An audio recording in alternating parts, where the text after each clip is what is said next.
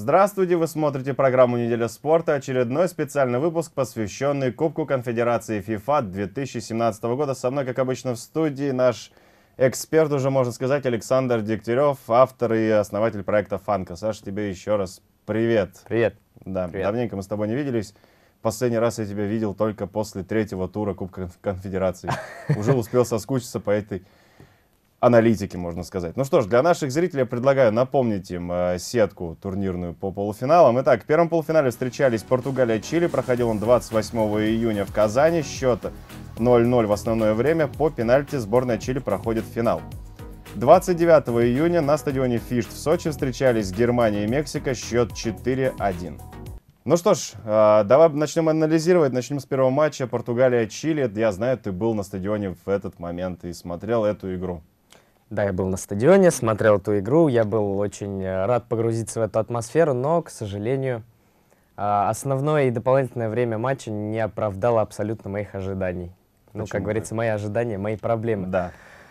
Игра была очень... а, Равна. Нет, игра была какой-то сумбурной.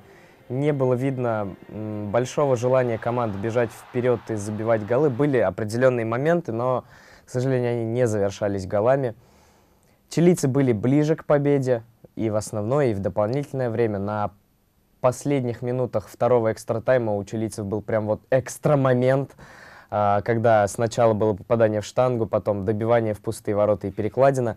Ну, все справедливо, как мне кажется. Единственное, что огорчился я, потому что тренер а, сборной Португалии выпустил трех игроков на замену. Все они били пенальти, и ни, ни один из них не забил. Это вот меня прям очень огорчило. Я думаю, что как бы он что с собой не сделал. Хорошо. А что еще можно сказать по этому матчу? Вот насчет Криштиану Роналду. Почему он не ферил? Я помню, ты в своих прогнозах э, давал то, что, мол, в плей-офф он будет прям тащить, тащить, тащить, а здесь, ну, он просто был потерян. А, ну, видимо, он решил э, дать, м, так сказать, себе отдохнуть после того, как играл в, а, на групповом этапе более, как сказать, а, броско. Играл вот подобающий себе и своему имени. Ну, а потом уже, видимо, или установка была не сильно бегать, или просто сил не осталось. Ну, я не знаю, человеку 32 года, он уже не молодой. Не в каждом матче можно носиться все 90 минут. И я думаю, у него просто голова была несколько другим забита. А, Я напомню, просто у него в перерыве между групповым этапом и а, матчем плей-офф у него родились дети, за которым он полетел сейчас в Нью-Йорк, фотогра- фотографию да. выложил в свой Инстаграм. Я думаю, он просто об этом задумывался, и у него мысли были совсем о другом. А вообще, мне кажется, что сборная Португалии не очень сильно хотела попасть в финал, потому что начинался матч с того, что ну, не было трети основного состава как минимум. Куарежма, Нани, ну, с натяжкой Жоа Маутиньо, они были все на банке. И Пепе не хватало, конечно же, который был а, дисквалифицирован. Хорошо, но вот я сейчас открыл статистику по статистике за весь матч. А владение мячом 44% у Португалии, у Чили 56%. Остальное все идентичное. Удары по 15, удары в створ по 3, удары мимо 9, блокированных уда- ударов по 3 штуки. Но штрафных у сборной Португалии больше. Но они ничего не смогли из них извлечь. Ну когда бил Роналду из одной из своих любимых, наверное, точек, там расстояние было прям вот оптимальное забивать со штрафного. Да, и чтобы было Он- так видно на камере, что он ноги вот так вот раздвинул, да? Он очередной раз не забил, это доказывает то, что а, либо футбол научился противостоять штрафным ударам Роналду, либо Роналду разучился их бить, во что я не верю категорически. Мгм. Хорошо, по серии пенальти, что можешь сказать? Почему вот, ну, так получилось? Я могу сказать, что Это скорее всего... Специально так, что ли, было задумано, то, что вот реально, давайте мы не будем выходить в финал? Или реально Клаудио Браво настолько топовый футболист? Я не могу сказать, что Браво топовый вратарь, по крайней мере, последний его сезон в английской премьер-лиге показывает Да. абсолютно обратное.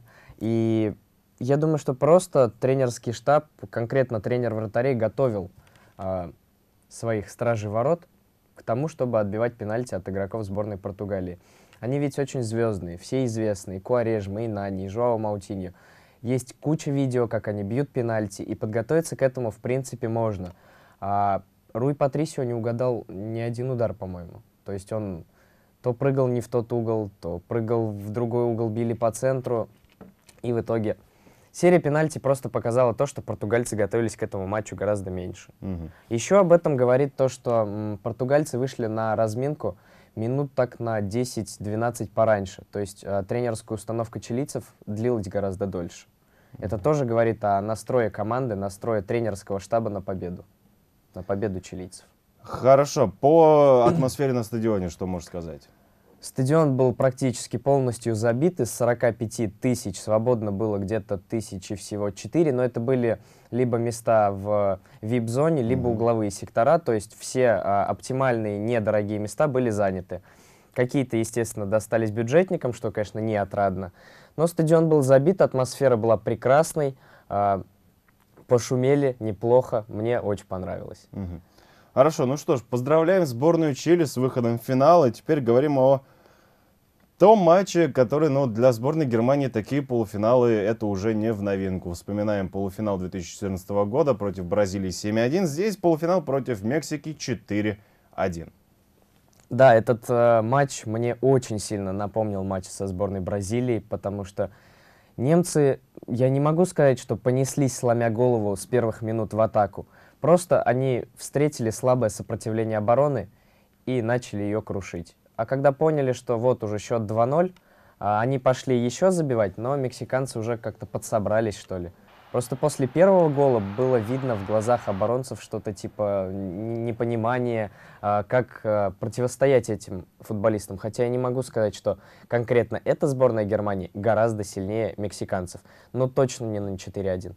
Просто Мексика на протяжении всего матча показывала, что в тактическом плане она к а, матчу была абсолютно не готова. Ну да, потому что защита, по-моему, там, ну даже не было ее вот номинально. Дело даже не в защите. Они э, и в атаке действовали как-то очень э, сумбурно. Ну, Чичерито вообще потерянный был. Да много кто выглядел потерянным. А, на самом деле, ну, единственный гол они забили, ну, случайно. Это вот шаровый гол.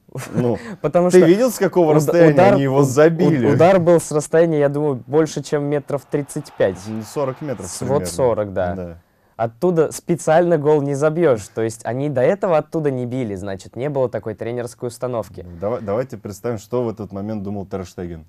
Да дело не в Торштегене. Мне, Не, мне- Когда вот такой мяч прилетает, имею в виду.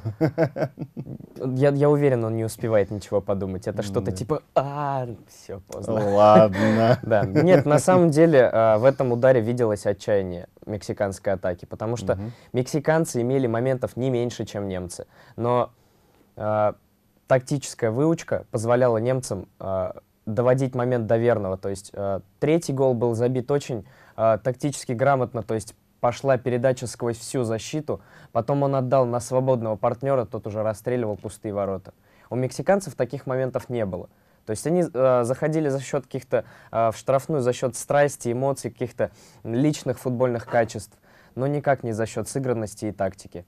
Хотя эта сборная Мексики между собой варится и играет гораздо дольше, чем конкретно вот эта сборная Германии. Ну Она вот, ведь э, собралась по- только перед Кубком По Конфедерации. схемам э, сборная Мексики играла по схеме 4-3-3, сборная Германии играла по схеме а, 3-4-2-1.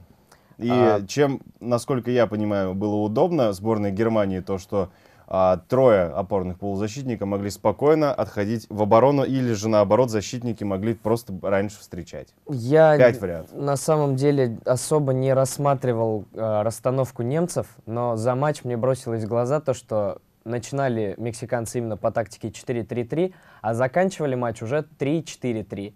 И вот в связи с этим, наверное, был забит четвертый гол и, может быть, даже третий, потому что они стали еще больше раскрываться. Каждая контратака немцев несла в себе опасность даже в зародыше. То есть, а, когда мяч попадал в центральный круг, Мгм. немецкий полузащитник или атакующий игрок оказывался один против двоих. И у него еще были два партнера, которые набегали по флангам, и мексиканцы только после этого начинали возвращаться. То есть каждая контратака немцев была потенциально опасна. Ну да, я думаю, тогда совет сборной Мексики играть следующий матч против сборной Португалии по схеме 1-10-0-0, арканоид. Я думаю, у мексиканцев не должно быть проблем с португальцами, потому что раз они отпустили своего лидера отдыхать, значит, они опять-таки не заинтересованы в матче за третье место. А мексиканцы, они покажут страсть даже в матче за бронзу. Хорошо, ну что ж, переходим тогда к матчам уже решающим, которые будут раздавать медальки, можно так сказать. Первый матч это произойдет в Москве 2 июля в 3 часа дня, если я не ошибаюсь. 15:00. Сборная Португалии против сборной Мексики. Кто? Да, на стадионе «Спартак» я не ожидаю, конечно, аншлага. Я думаю, там будет немного зрителей. Ну, там будет очень много спартаковцев. Да там и, и динамовцев, и, и фанатов ЦСКА и Локомотива, Мгм. думаю, будет немало. Но тем не менее. Я ожидаю победу сборной Мексики, хотя я хотел бы видеть их в финале больше, чем сборную Германии. Хотя бы третье место они должны получить, потому что эта команда достойна медалей на Кубке Конфедерации. Сборная Мексики, да? Да, сборная Мексики. Букмекеры с тобой не согласны. Абсолютно уверен был в том, что они Абсолютно будут со. Абсолютно был уверен, что будет так же. Ну вот а, по коэффициентам 3.24 сборная Мексики, 2.27 у сборной Португалии. А на ничью На ничью в основное время 3.74. Меня вообще э, поражает, э, поражают коэффициенты букмекеров на матче э, Кубка Конфедерации. Я не... Ну вот разве что с, в матчах с явными аутсайдерами были какие-то адекватные котировки. Но вот в более-менее равных матчах, это же матч на три результата, вот классический. Там может победить любая сборная. Но я вижу нежелание выигрывать от сборной Португалии. Поэтому я ставлю на Мексику. Ну, а тем более у них нет прям основного игрока. Криштиано Роналдо не примет участие в матче за третье место. Кто, кстати, займет его место в составе? Да, там много кому можно его заменить. Э, На, пози- Куарезма на позиции свободного э, полузащитника, вот этого свободного художника может выступить Куарежма. Я думаю, наверное, с первых минут на этой позиции выйдет Нани, а потом В его... паре с силой, да? Да, если, а, если у него не хватит сил, ну, скорее всего, не хватит, выйдет Куарежма. Мгм. Причем время будет примерно одинаковое, то есть, ну, где-то 50 на 40. А переходим тогда к финалу, к главному матчу. Это матч группы Б Чили против сборной Германии. Надеемся, не будет такого счета, как а, было в Казани. Кстати, о Казани можно сказать то, что вот, как мы говорили про стадион Фишт, драки с 2017 года. Стадион Казань-Арена. Ничейки с 2017 года. Да, они еще идут по, по убывающей. Да. Сначала была ничья 2-2. потом 1-1 и 0-0 в итоге э, Чили, ой, подожди, да, Чили и Португалия. Ничья 0-0 в основное Да. время. Но потом всеми любимая наша родная сборная России избавилась от этого проклятия, проиграв сборной Мексики со счетом 2-1. Мы ее в учет не берем. Да. Это все-таки ее, можно сказать, родной стадион, хоть и отчасти. Хорошо. Итак, финал. Чили, Германия. Я боюсь, что победит сборная Германии, хотя мне этого очень сильно не хотелось бы. Причем я думаю, что они забьют на два гола больше, чем чилийцы. Мгм.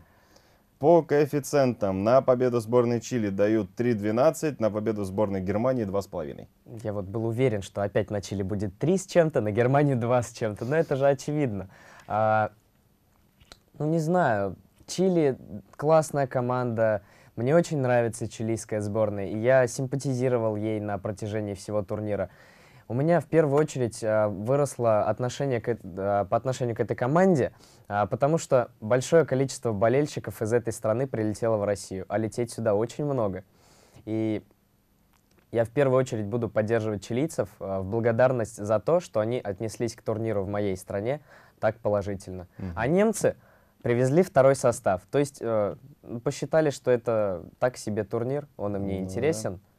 Соответственно, для меня это как э, плевок в мой личный адрес, как болельщика. Хорошо. Ну что ж, а, с этим разобрались. Я знаю то, что ты сам поедешь на финал Кубка Конфедерации. Вопрос.